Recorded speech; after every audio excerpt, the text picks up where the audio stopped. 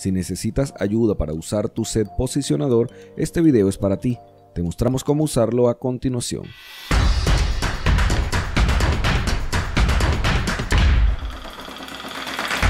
Este sistema permite posicionar cualquier película. La manera correcta de hacerlo evidentemente es colocar la superficie a irradiar en dirección al aro posicionador.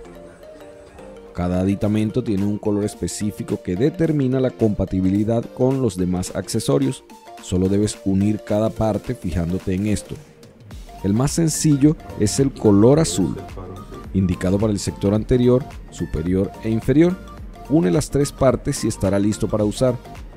Para el color amarillo debes prestar un poco más de atención. Está diseñado para las zonas de molares tanto superior como inferior. Solo hay que variar un detalle en la colocación del vástago metálico. Para la zona superior derecha e inferior izquierda, debes introducir el vástago metálico por el extremo cónico de la articulación del aro posicionador. Usarás el mismo color amarillo para el sector superior izquierdo e inferior derecho, pero debes ajustar el aro posicionador, introduciendo el vástago por el extremo contrario de la articulación. Repasemos un poco.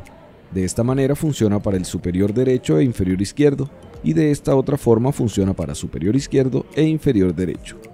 Continuemos con el color rojo, diseñado para Bitewing, tanto derecha como izquierda.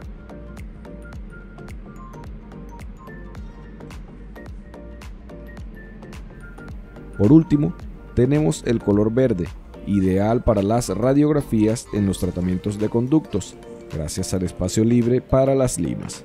Al igual que los dos colores anteriores, si colocamos el vástago por el extremo cónico de la articulación, servirá para el sector superior derecho e inferior izquierdo, mientras que para los sectores superior izquierdo e inferior derecho debemos invertir la posición del vástago.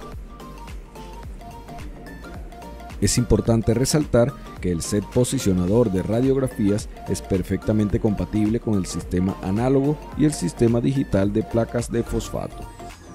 Recuerda que para no perderte ningún tutorial de nuestros productos, debes seguir el canal de YouTube Biotech LTDA y así mantenerte al tanto de los videos que subimos a diario.